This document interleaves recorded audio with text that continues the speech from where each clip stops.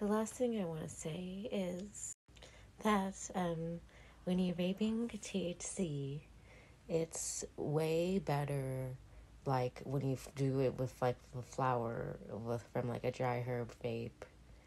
I can't say it enough. I can't say it enough.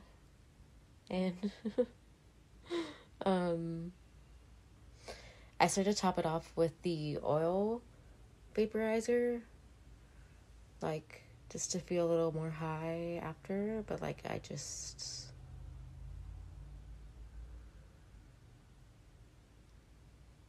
do it that way. Like it's just like, oh my gosh, it's so good. And like I don't know, it puts me at a frenzy of like I don't know what I want right now. But it's not smoking weed. Oh my gosh, I hate smoking weed. I I, I never thought I would say that, but I hate smoking weed. Like it's too harsh and it's just like ugh. It makes you feel like ugh.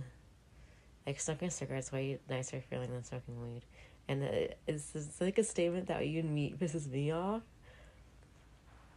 Pisses me off, but it's it's logical. It's like, oh,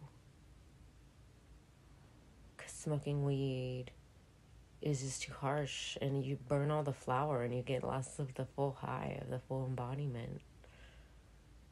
And um, i mean smoking a cigarette you get all those chemicals no matter, no matter what way and that's the best way to get thc besides gum besides gum but like i'm talking about combusting nicotine you want it in a cigarette at least i do